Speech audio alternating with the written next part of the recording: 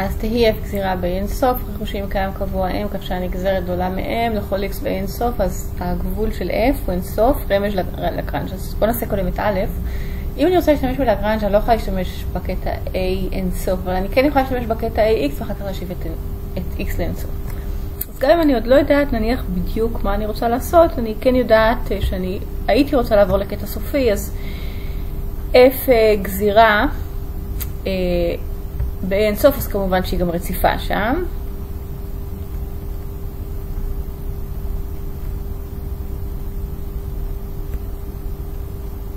אז היא גזירה ורציפה באין סוף, לכן לכל x גדול מ-a, וואי, מה יהיה? רגע, ננסה לפתור את זה. אז לכל x גדול מ-a, F, רציפה וגזירה, זה לא ייפתר, בקטע, בקטע AX. אוקיי, אז לפי משפט לגרנג'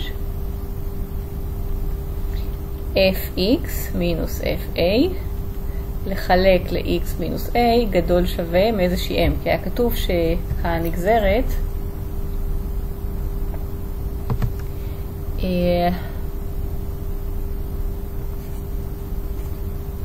כן, הנגזרת של x גדולה שווה מ-m לכל x, בסדר?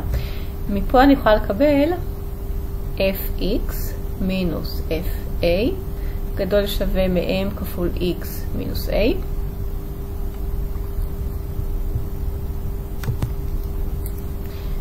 שזה אומר fx גדול שווה מ-m x מינוס a ועוד fa. עכשיו אם אני אשאיף את אם אני אשאיף את f ל, את x לאינסוף אז אני אקבל שהגבול של fx זה הגבול כאשר x שואף לאינסוף x a מינוס a ועוד fa וזה לא x זה mx מינוס a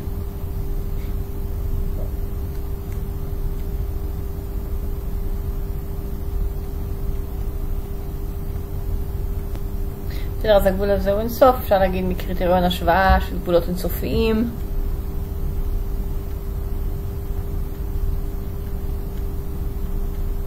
וזה מה שרצינו להוכיח, בסדר?